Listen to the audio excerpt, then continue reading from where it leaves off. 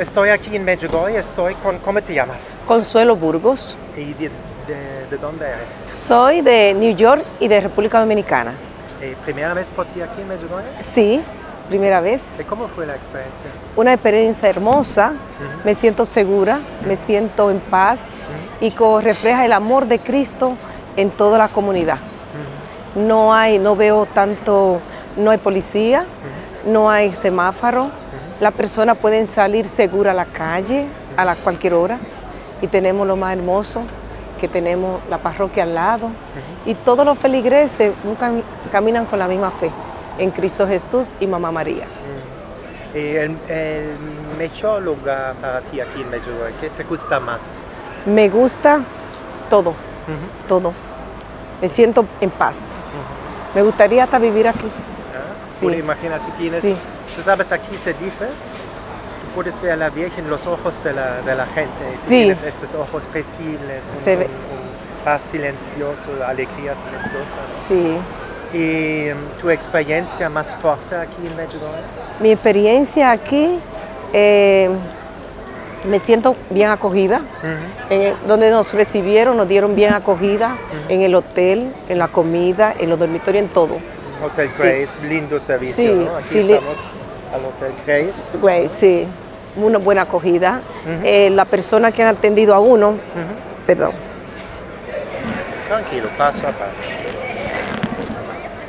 la es mucho calor aquí. Sí, la persona nos han dado, nos han dado buena acogida, todo el personal del hotel, nos recibieron con ese amor que se ve en los ojos de la persona. Se ve la paz y todo el mundo habla y va a la iglesia.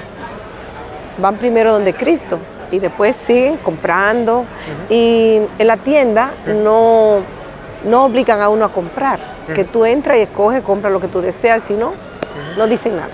O sea, eh, hay más, hay tranquilidad. Exacto. Todo el mundo como que si todo el mundo estuviera caminando con una misma fe. Sí, La misma dirección. la misma dirección, sí. Y no, no se siente violencia, No. impaciencia aquí, ¿no? No, Tú lo ves también, ¿no? Esa experiencia. hay mucha paz, no hay violencia, no hay semáforo, que encontré raro. Y algo bueno, que cuando subimos donde la Virgen, eh, a esa hora que bajamos, no había taxi y personas que no eran taxi se ofrecieron y fueron a buscarnos. Eso es hermoso. Y, hubo confianza de montarse uno en los carros de ellos, no como en los New York ni en DR, que yo no me montaría con nadie. No hay confianza porque no es que son malos, pero todo el mundo no anda buscando la misma fe. Y aquí en la vista de la persona se conoce que hay mucha paz. Y antes, tú sabes, estuve en, en Tierra Santa también. ¿Qué es la diferencia de Tierra Santa, la belleza, y la belleza Eh, de aquí? Ok, tierra, hay mucha diferencia. Allá, allá en Tierra Santa, caminamos en la huella de Cristo Jesús. Cristo vivió ahí, los apóstoles, Mamá María, pero no hay la paz que hay aquí. Todo es como un corre-corre. La gente te obligan a que quiere comprar y para ir a los sitios no es como aquí. Es muy diferente. La paz es muy diferente. Aquí se vive la verdadera paz. Allá no. A que me disculpen a Jerusalén, a Israel, pero no se vive la misma paz. Es verdad, estuve en Tierra Santa Sí, en noviembre, es Sí. más tensión. ¿no? ajá, más tensión, este, más caliente y mucho est- muy estrés, porque hay mucha gente encima de ti, de que aquí se está encima de ti, pero no se tiene ese temor.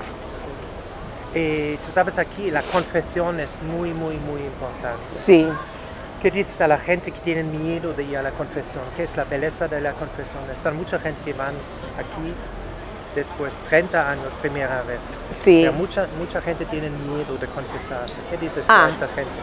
Yo siempre he dicho esto, a la persona del mundo no le tienen miedo. Eh, andan por las calles y con todo el mundo no tienen miedo. Entonces, ¿tienen miedo a Cristo? Yo no le tengo miedo a Cristo porque yo vivo en Cristo Jesús. El amor del Padre, del Hijo y del Espíritu Santo habitan en mi corazón. Y Él sabe todo lo que yo estoy haciendo. Entonces no le tengo miedo a la confesión. Yo me pongo en oración y siempre estoy pendiente como los niños se confiesan. Que los niños cuando se van a confesar no tienen, van y le dicen la confesión al padre, eh, tal, tal, tal cosa, y ya. Pero nosotros los adultos, no sé por qué, por qué, yo digo, ¿por qué? Yo no le tengo miedo a mi padre, a mi párroco. No, yo tengo confianza en él porque él me conoce a mí.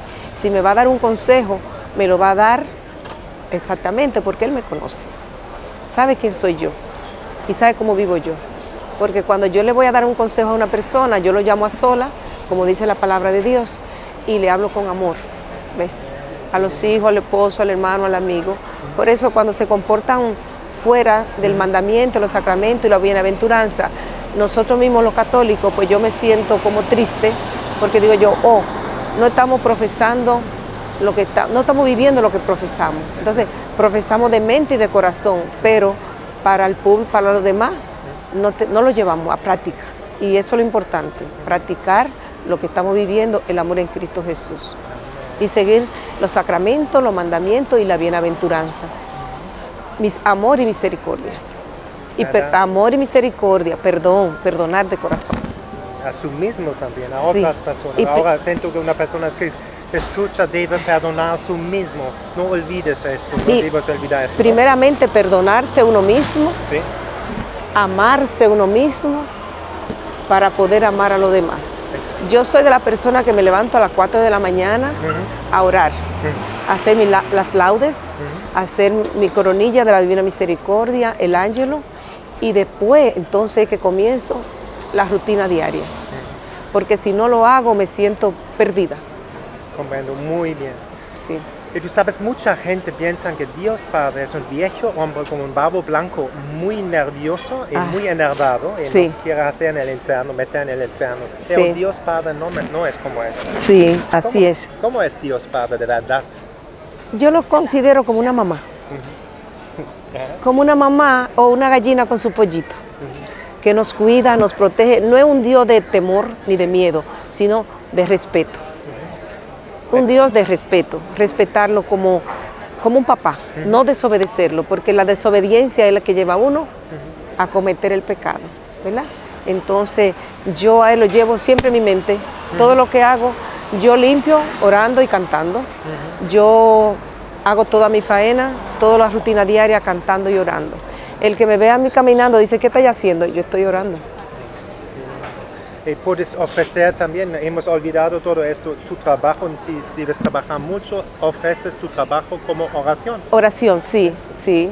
Yo aquí, eh, cuando el padre Ambiori, yo me dediqué, yo le lavaba la alba, la casulla, la estola, los corporales, los purificadores, los manteles, y siempre cuando entraba a la iglesia yo vivía.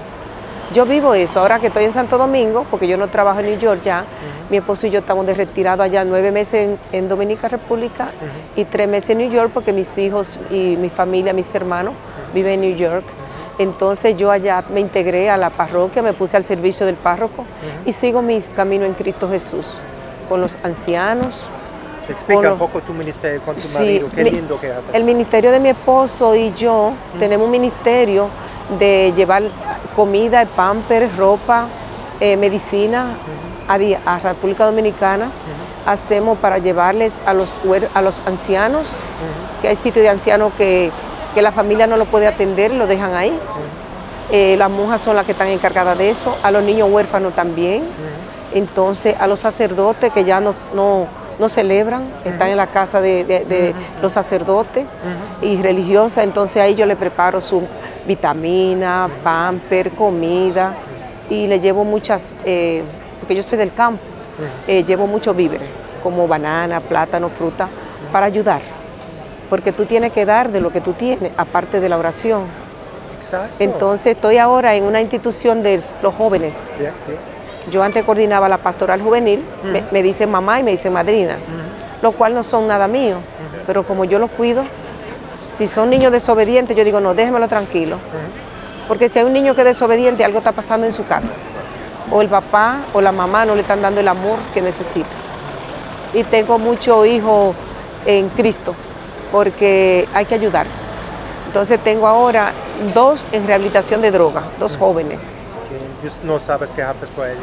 Uno estaba encadenado 48 días, agua, sol y sereno. Y cuando llegué en marzo a Diar, a Diar yo oía una voz alta que gritaba. Y yo dije, en la comunidad, ¿qué pasa? Nadie me dijo. Ese día cuando alguien me dijo, no, hay un joven que se pasó de droga, los papás se desapareció. Los papás física y espiritualmente, económicamente, no tienen nada para ayudarlo. No tenían, si tienen a Dios aquí, podían ir a la escuela, a una institución del gobierno a pedir ayuda. También existe, muy importante para la gente que escuchan, si tienen un hijo o hija que, que, está en, en, adicciones, existe la comunidad de Chenácolo. Sí. Explica un poco esta comunidad. Entonces esa comunidad no está en mi país, pero yo conseguí una que hay que pagar. 35 mil pesos dominicanos, que son como 800 dólares. Entonces yo lloré mucho, yo fui al sagrario, me hinqué en el sagrario y lloré. Yo le dije al jovencito, yo te llevo a un sitio, tú te vas conmigo. Me dijo, si tú me llevas así, yo lo miré a los ojos, si tú me llevas, yo sí me voy contigo. Y me dijo, mira, yo estoy en el fondo del océano. Si alguien viene y hace un pozo y sale agua limpia del pozo, yo voy a subir por ese pozo. En la noche yo di una meditación en oración. dije, wow, él me dio un mensaje que si alguien viene y lo ayuda y él sube de ahí, lo sacan de la mano, él se va a rehabilitar. Eso fue lo que yo pensé en mi oración. Entonces llegué, hablé con el papá, me dijo que sí. Él es huérfano, no tiene mamá, quedó huérfano a los 15 años. Entonces fui a ese sitio, llamé, como no cogían el teléfono, eso está casi a una hora de mi casa. Le dije al papá a las 3, de la, 3 y media de la tarde, vamos allí. El señor es árabe, el que de Arabia, él es encargado, preparado, ahí tienen este, si tiene muchos problemas mentales lo buscan a la casa, hay que pagar aparte, eh, van con doctores a buscarlo, ahí tienen psiquiatra, psicólogo, terapista, doctor general y tienen la medicina. Tienen enfermera 24 horas y le dan los alimentos. No lo dejan ver por un mes, porque ellos, como llegan así, le tienen que dar un tratamiento y limpiarle un poco la sangre, depende de la droga que han usado.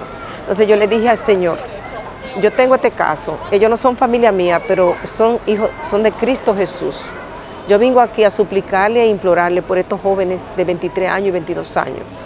¿Qué usted me puede ayudar? Me dijo, tiene que darme 8 mil, 11 mil para buscarlo, que son como 200 dólares, 200 dólares en change, y 35 mil para mensual, tiene que darlo adelantado. Yo dije, ok. Entonces, él fue, lo buscó, eh, conseguido primo, que lo llamé y me dijo que sí, que me iban a ayudar económicamente. Toqué puerta porque yo económicamente sola no puedo, porque tengo niños en Haití que le mando ofrenda y otras instituciones. Entonces yo le dije, como yo vivo de un cheque de retiro, mi esposo también, entonces me dijeron que sí, que me iban a ayudar. Entonces antes de venir para acá ya yo pagué todo, para que ellos no me lo saquen de ahí ni le falte nada. Es Sí, sí, pero nada, vamos a seguir hacia adelante, pero hay que ayudar a los jóvenes.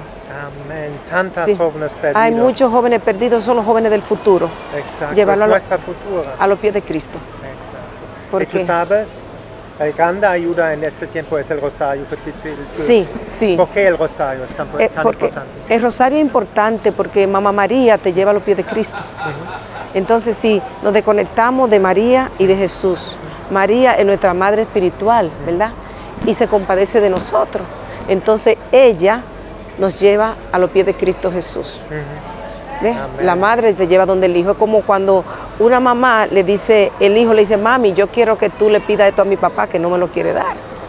Entonces siempre la mamá están apoyando, los papás también, pero la mamá siempre apoyan como la gallina con los pollitos. Esto es para nuestros amigos protestantes que ven estos vídeos también, que comprenden que es la posición en de la Virgen en nuestra fe católica. Sí, sí. ¿Y por qué tú eres católica? ¿Por qué es tan linda esta eh, Católica, yo nací siendo católica. Mi abuelo no sabían de letra ni de nada. Mi abuelo te hablaba de la Biblia y allá se oraba al levantarse, al comer, al caminar, todo. Y en la cena también mi abuelo nos reunía para... Yo me crié...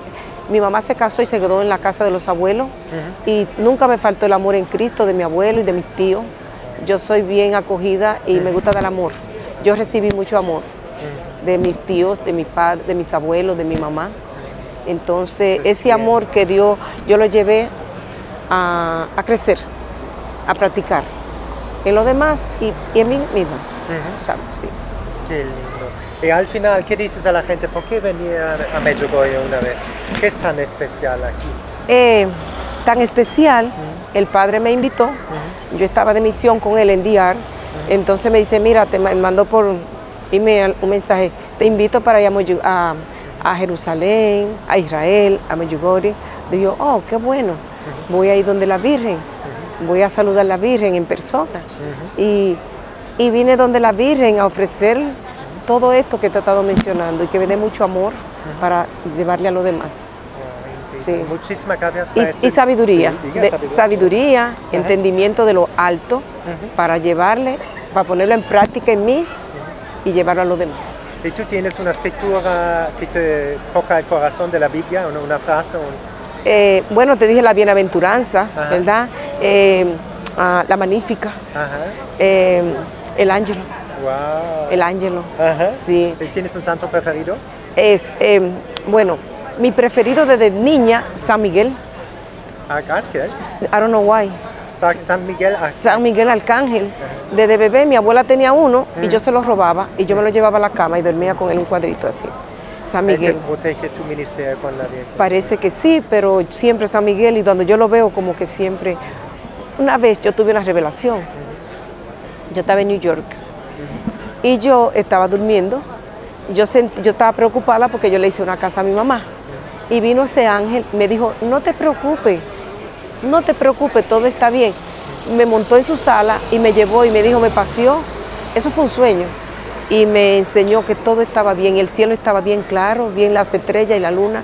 Y yo dije, mira, ¿qué me quiso decir? Que no te preocupes por lo material, que Dios que me encargue de la cosa de Dios, que Dios se encarga de lo mío. Es como esto, esto es el espiritual. Y diga, tú tienes una relación personal con Cristo mucha gente busca esta relación personal. ¿Cómo puedes tener esta relación personal? ¿De la confesión? No, ¿cómo puedes tener una relación personal con Cristo? Con, con Cristo. con Cristo. oh my God. sí, Cristo es el centro de mi vida. ¿Cómo?